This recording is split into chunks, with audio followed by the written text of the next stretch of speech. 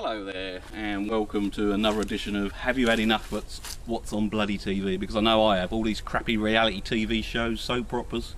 Well, I've had enough, and I've decided to blow up my TV.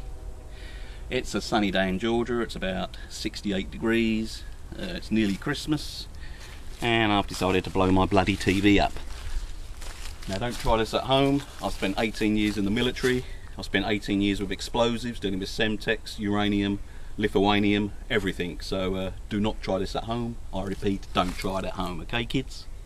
Unless you're over five, then it's okay. Okay, here we're gonna go.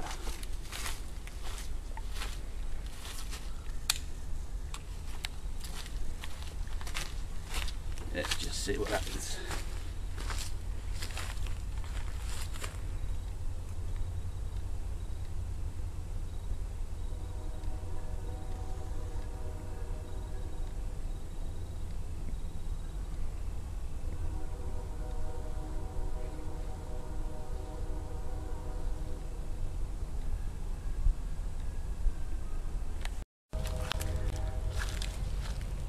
As you can see now it's starting to go up in flames.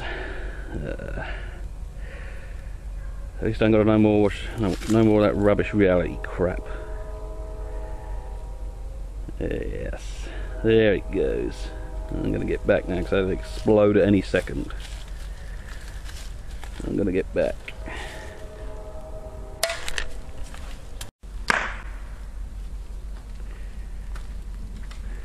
and it's well and truly alight now. You can hear it popping.